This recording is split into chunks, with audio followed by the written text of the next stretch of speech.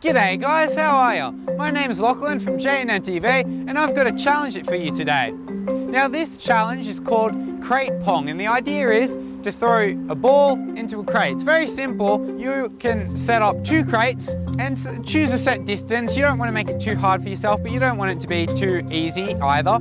So you want to throw a basketball from one crate to the other and have it land inside. You want it to bounce once. The, that's the rule of the game. One bounce and then in the crate. And if you miss, the other person will try and throw it to your crate. So you can set a score, best of three, your own choice.